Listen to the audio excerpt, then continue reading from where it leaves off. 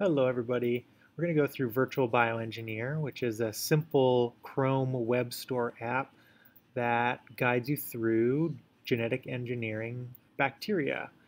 And it's slightly interactive, and it's typically what you'd use before doing the actual hands-on exercise in, in real life, in your home or in your school or in your lab. So we're just going to jump into it and start the simulation.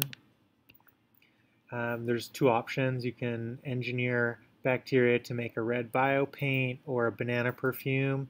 We'll click on the red biopaint. It starts with a little bit of context about how dyes are made today and, and perhaps why they're uh, a little bit dangerous for people and for the environment.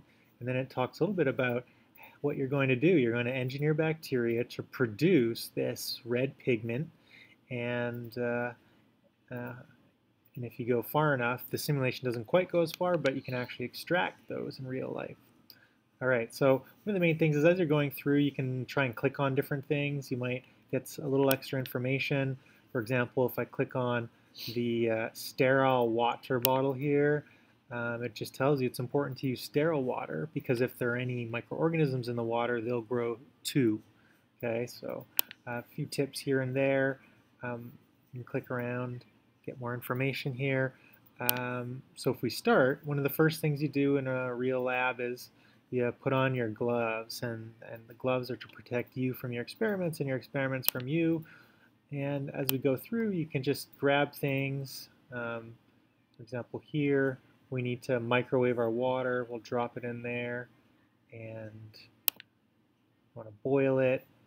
And you just go through the whole exercise and you grab things, you move them around, uh, sometimes you shake them and uh, label things.